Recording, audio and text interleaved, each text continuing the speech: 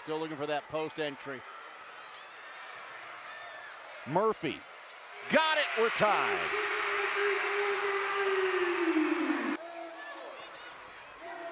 Ten on the shot clock. Elisaldez works, goes high off the glass and scores. Kaya Elisaldez at 5-5. Farrell with the lob into the paint. Davis got great position and Takia Davis. Here's Olaf's daughter. The miss. Farrell, the follow. Just over two minutes gone in the second quarter. Elisaldez drives. Rim out. Elisaldez with a rebound for Chattanooga. And the speedy point guard steps on the gas. Off the glass. Count it. Straight on three. Off the back of the iron. Elisaldez saves it from going out of bounds. Murphy again. Got it. Second time the charm for Karsen Murphy.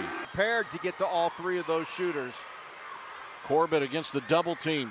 Drops it off in the middle of the floor, and Brooke Anya has hit double figures now. Murphy from three. 11 points, Karsen Murphy. About Holcomb, she just is always in movement without the ball. Murphy. Got it. Karsen Murphy. That are carrying this team. Karsen Murphy, as you mentioned, Brooke Anya, and then Elisaldez. Well, there's a career high in both three pointers made and in points. Shot clock at four. Corbett spinning, leaning.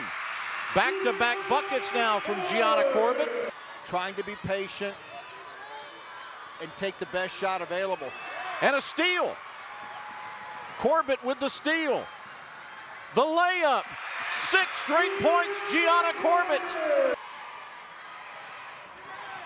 Anya bucket. Brooke Anya. Add to that, Todd. We've talked about the limited bench that Chattanooga has. Karsen Murphy has played every minute. There is your game. Chattanooga wins 66 60. Chattanooga made more shots from the field, and they just put Lipscomb behind too big of a hole, and the Bison couldn't climb out of it, Chris.